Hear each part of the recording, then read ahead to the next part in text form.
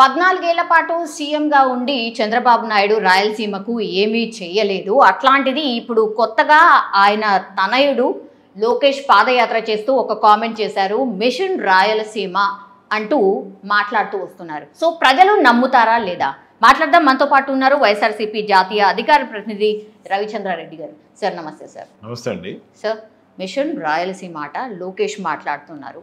మరి పద్నాలుగేళ్ళ పాటు వాళ్ళ ఫాదరే సీఎంగా ఉంటున్నారు. అప్పుడు అభివృద్ధి జరగలేదు. ఇప్పుడు ఈయన వచ్చి మిషన్ రాయలసీమ అంటున్నారు. ప్రజలు నమ్ముతారా? ఓట్లు వేస్తారా? నారా లోకేష్ గారికి రెండు అంశాలు ఏవైతే నేర్పాల్సినవి ఉన్నాయో అవి నేర్పలేదు చంద్రబాబు నాయుడు గారు.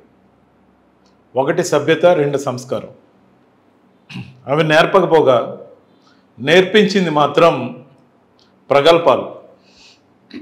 ఉత్తర కుమారుడి ప్రగల్భాలు ఏవైతే ఉన్నాయో వాటిని పలకమని బాగా నేర్పించాడు. ఎందుకంటే నేను కానీ నువ్వు కానీ ఏ రోజు సమాజానికి చేసిందేం లేదు ప్రజలకు చేసిందేం లేదు.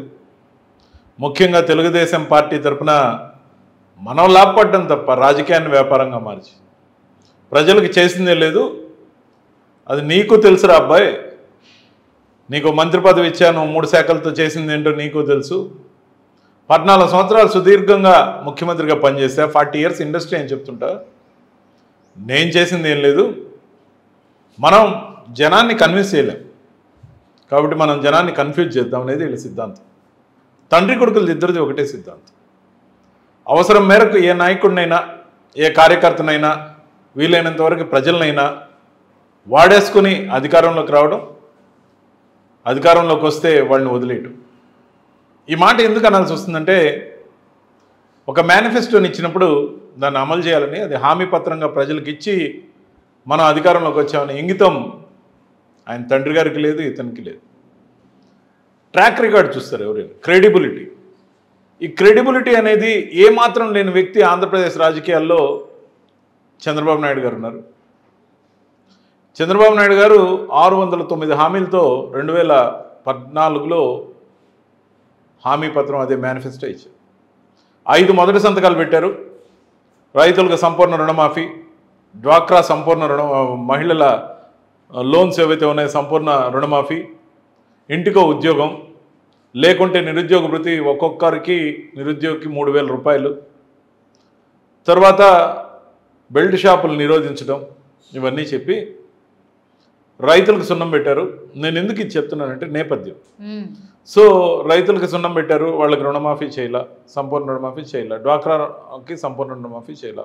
అలాగే ఇంటికి ఉద్యోగం ఇవ్వాల? నిరుద్యోగ వృత్తి ఇవ్వాల? అలాగే బెల్ట్ షాప్లని మేము వచ్చాక రద్దు చేసాం. వైఎస్ఆర్సీపీ ప్రభుత్వం వచ్చాక ఫార్టీ ఎయిట్ అవర్స్లో నలభై మూడు వేల ఎనిమిది వందల బెల్ట్ షాపులు రద్దు చేశాం ఇది మా ట్రాక్ రికార్డ్. వాళ్ళు ఇప్పుడు ఏం చేయాలో అర్థం కాక యాత్రకు మైలేజ్ రాక దిక్కుదోచని స్థితిలో కనీసం దాని కవరేజ్ కూడా వాళ్ళ అనుంగు మీడియాలో ఇవ్వలేని దుస్థితి. పెట్టుడు నెట్టుడు ఉద్యమమైన అమరావతి ఉద్యమం మహిళలను ముందు పెట్టి నడిపించింది తూతు మంత్రంగా అయినా కొంతకాలం ఏదైతే కొనసాగారో అని చెప్పి రోజుల వారీగా ఇన్నో రోజు అన్నో రోజు అని వేసుకున్నారో. దాన్ని కూడా రోజువారీగా లైవ్ టెలికాస్ట్ ఇచ్చేవాళ్ళు. కానీ నారా లోకేష్ పాదయాత్రకు లైవ్ టెలికాస్ట్ లేదు. రోజులో కనీసం ఒక రెండు మూడు గంటలు కూడా లేదు. అక్కడక్కడ జనాన్ని పోగేసిన దగ్గర మాత్రం ఒకే కెమెరామెన్ విజువల్స్ తీస్తాడు. దాన్ని రెండు ఛానల్స్ షేర్ చేసుకుంటే వాళ్ళ మూడు ఛానల్స్ షేర్ చేసుకుంటే నాలుగు చేసుకుంటే. సో తక్కువ ఖర్చుతో ఎక్కువ ప్రగల్భాలతో మిషన్ రాయలసీమ అంట. అంటే బహుశా రాబోయే రోజుల్లో కోస్తాంధ్రలో పర్యటించేటప్పుడు మిషన్ కోస్తాంధ్ర మిషన్ ఉత్తరాంధ్ర అంటే మూడు దగ్గరలకి మూడు మిషన్లు ఏమన్నా కొంటారేమో మాకు తెలియదు. అంటే నోట్లు ప్రింటించే మిషన్ ప్రింట్ చేసే మిషన్ కొంటారా? లేకపోతే ఇంకేదైనా కొత్త తరహా రోబోని తయారు చేసి ఇదే మీకు సేవ చేస్తుంది మేము ఇచ్చే కానుక ఇదే అని చెప్తారా? ఇలాంటి మిషన్ని విజన్ అని చెప్తారా? విచిత్రమైన మాటలతో ఏదైతే మాట్లాడుతున్నారో గతంలో కర్నూలుని ఏదేదో చేస్తా అని చెప్పి కర్నూలుకి ఏం చేయకపోగా న్యాయ రాజధాని రాకుండా అడ్డం పడుతున్న వ్యక్తులు వీళ్ళు. రాయలసీమ అంటే వీళ్ళకి అం- విపరీతమైన కోపం. ఎందుకంటే వెనుకబడ్డ నాలుగు జిల్లాలకు సంబంధించి అక్కడ అభివృద్ధి జరగాలని వీళ్ళు కోరుకోరు తండ్రి కొడుకులు. ఎందుకంటే గతంలో యాభై రెండు సీట్లకు గాను నలభై తొమ్మిది మేము గెలిచాం కాబట్టి. వాళ్ళకి ఎక్కడ లేని కోపం ఉంది. ఇప్పుడు కూడా ఎవరు రావట్లే అక్కడ. కానీ గత సార్వత్రిక ఎన్నికల్లోనే చంద్రబాబు నాయుడు ఒక బహిరంగ సభలో మాట్లాడుతూ ఎక్కడ అంటే పాణ్యం బహిరంగ సభలో మాట్లాడుతూ రాయలసీమలో మనకు సీట్లు ఓట్లు ఇవ్వరు కాబట్టి అందుకే నేను డెవలప్మెంట్ చేయలేదు. కానీ అట్లా కాదు మేము తప్పు చేశాము. ఇప్పుడు మిషన్ రాయలసీమ తీసుకుంటాము. సో దాన్నే డెవలప్మెంట్ చేస్తాము అని మాట్లాడుతున్నారు. సో దీన్ని ఎట్లా చూస్తారు? ఖచ్చితంగా సరైన పాయింట్ మీరు తీసుకొచ్చారు. అతనికి కొన్నిసార్లు పొరపాటు నిజాలు చెప్పే ఆలోచన చంద్రబాబు నాయుడుకి ఉంది. అంతేకాదు తనకు ఓటేయకపోతే రోడ్ల మీద నడవద్దని ఇచ్చే పెన్షన్ అరాకొరాగా ఏదైతే పాపం పేదల్ని మరి వృద్ధుల్ని హింసించి అప్పుడప్పుడు ఇచ్చిన దాన్ని కూడా ఇవ్వనని బ్లాక్మెయిల్ చేసేవాడు చంద్రబాబు నాయుడు.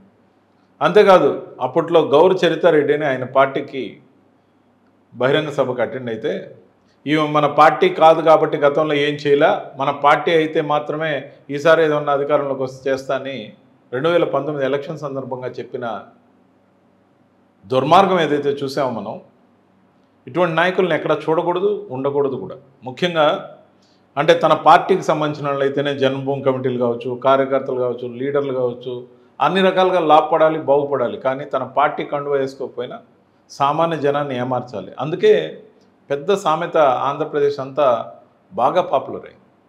వినేవాడు అమాయకుడైతే చెప్పేవాడు చంద్రబాబు నాయుడు. దాన్ని కాపీ పేస్ట్ చేసి వినేవాళ్ళు అమాయకులైతే చెప్పేవాడు నారా లోకేష్ బాబు కూడా అని ఆయన దానికి కొంచెం ట్రెండింగ్లో పెట్టుకుంటున్నాడు. అంతేకాదు మోసపోయేవాడు సామాన్యుడైతే పేదవాడైతే మోసం చేసేవాడు చంద్రబాబు నాయుడు అని ఈ సూక్తులు ఏవైతే ఉన్నాయో ఆంధ్రప్రదేశ్లో గ్రామ గ్రామాన వైఫై తిరిగినట్టు తిరుగుతున్నాయి. ఖచ్చితంగా ప్రజల మనసుల్లో ఏముందంటే ఒకరు చేసే వ్యక్తి ఒకరు చెప్పే వ్యక్తి. చెప్పింది చేయని వ్యక్తి చంద్రబాబు నాయుడు. చెప్పింది చేసి చేసిన దాన్ని చూపించి తిరిగి ఆశీర్వదించమని కోరేది వైఎస్ జగన్మోహన్ రెడ్డి. సో ఇప్పుడు మిషన్ రాయలసీమ అనేది అసలు సక్సెసే కాదు అని అంటారా? లేదంటే మిషన్ రాయలసీమని ఎంచుకోవడానికి what is the specific reason అంటారు అంటే ఇప్పుడు నారా లోకేష్ అక్కడ తిరుగాడుతున్నాడు కాబట్టి. సో రాయలసీమ దాటాక ఎక్కడైనా ఏరు దాటాక తెప్ప తగలేయటమే సో ఈ రాయలసీమ అయిపోగానే కోస్తాంధ్రకి అద్భుతమైన మిషన్ ఒకటి మళ్ళీ కనిపెడతారు. అలాగే ఉత్తరాంధ్రకి స్పెషల్ మిషన్ కనిపెడతారు. అందుకని part one part two part three లాగా అప్గ్రేడ్ చేసి సాఫ్ట్వేర్ అప్డేట్ చేసినట్టు కొత్త కొత్త మిషన్లు కనబెడతాం కానీ ప్రజలకు ఉపయోగపడే పనులు ఏం చేయరు? మేము సూటిగా అడుగుతున్నాం. మేము ఇచ్చిన పథకాలు అమలు చేస్తే శ్రీలంక అయిపోతున్నారు మేము ఇచ్చిన పథకాలకు మించిన పథకాలు అని చెప్పి ఒక టీజర్ వదిలేరు మొన్న. కానీ మీరు వదిలే టీజర్ అయినా లేకపోతే ట్రైలర్ అయినా ఎవరు నమ్మరని మీకు తెలీదా? ముఖ్యంగా మేనిఫెస్టో గతంలో మీరు అమలు చేయలేదు దాచేశారు వెబ్సైట్ నుంచి తొలగించారు అనేది ప్రజలు మర్చిపోయారు అనుకున్నారా ఆరు వందల తొమ్మిది హామీలు ఇచ్చి ఏమీ అమలు చేయని మీ భాగవతం అంతా కూడా ప్రజల ముందు ఉంది. మేము ఇచ్చిన నూట ఇరవై తొమ్మిది హామీల్లో నూట ఇరవై ఐదు అమలు చేసాం ఇంకో నాలుగున్న ఎలక్షన్ లోపల మ్యాక్సిమం చేయడానికి ప్రయత్నం చేస్తున్నాం. ఇది స్టాండర్డ్స్ క్రెడిబిలిటీ వర్సెస్ మోసం దగ. ఓకే. మళ్ళీ ఎన్నికలు వచ్చాయి కాబట్టి ఈ ప్రామిసెస్ అన్ని. మళ్ళా అప్గ్రేడ్ అవుతూ ప్రచారం ఏదో ఒకటి చెప్పి. ఏమార్చడమే. తండ్రి కొడుకుల లక్ష్యం. Yeah. Thank you thank you so much sir.